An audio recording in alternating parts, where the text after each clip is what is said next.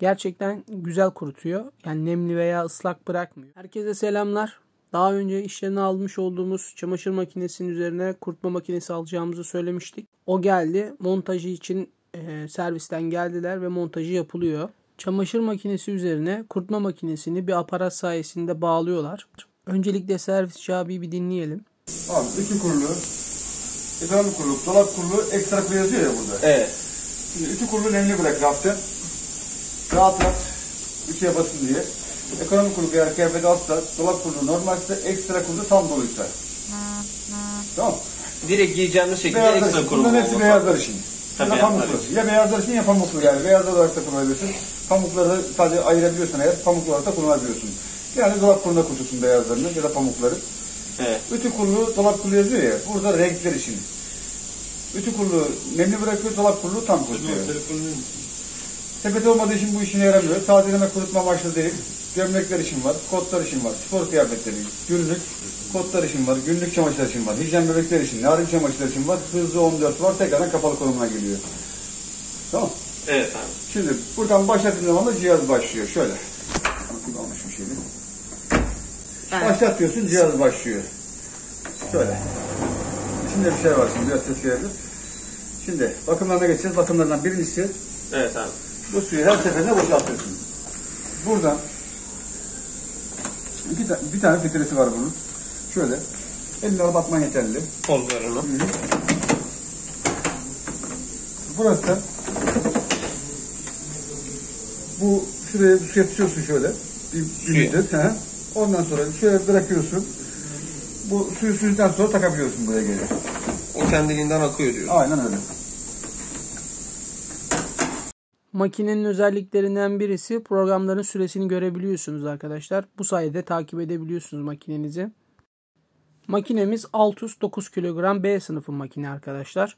Evimde Arçelik'in kurutma makinesini kullanıyorum. Bunun onun arasındaki farkı iyi kötü size anlatmaya çalışacağım arkadaşlar.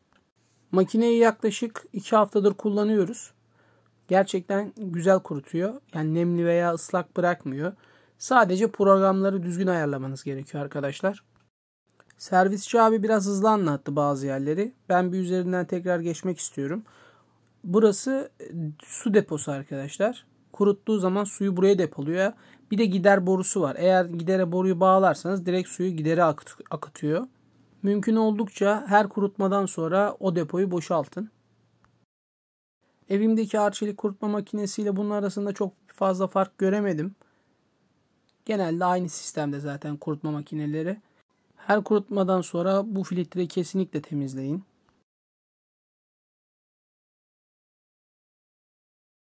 Buradaki filtreyi bir önceki servisçi abi bana demişti ki iki haftada bir temizle.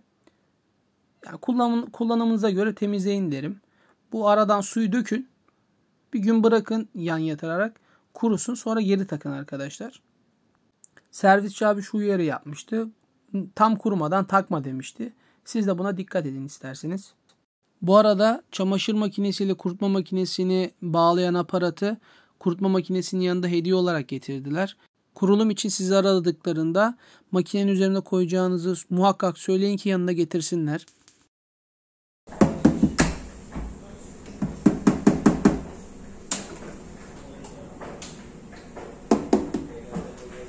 Arçelik'in kurutma makineleri genel olarak kapakları cam oluyor arkadaşlar. Bununkisi plastik.